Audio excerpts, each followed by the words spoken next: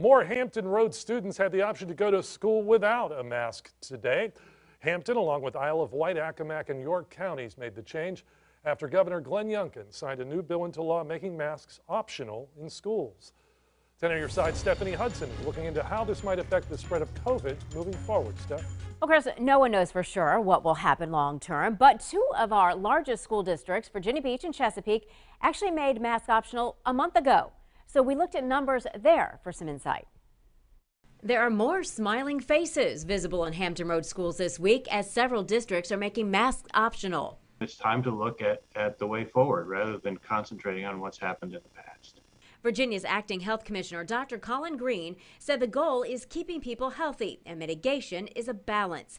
Masks don't appear to be effective in stopping Omicron, he said, and kids have never been at high risk of severe disease.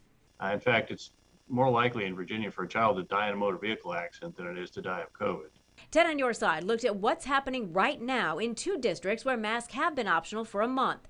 Chesapeake reports 230 cases in the last 14 days and only four today. Virginia Beach has 556 reports in February out of nearly 64,000 students, so spread is very low. Still, some parents of high risk students are worried. Katie Kane of Chesapeake, who we spoke with in January, told me today that she upgraded to KF94 mask in an effort to protect her youngest child.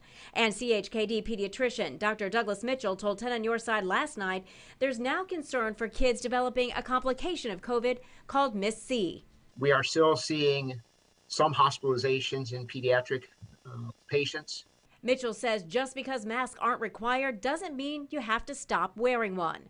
As many parents now weigh their options, Honestly, I, I would ask them to remember that it's not 2020 anymore. both doctors agree vaccination is the best defense. Now, Suffolk schools will go mask optional next Monday, Portsmouth schools next Tuesday, while Norfolk will consider the matter at its school board meeting next week. Stephanie Hudson, 10 on your side.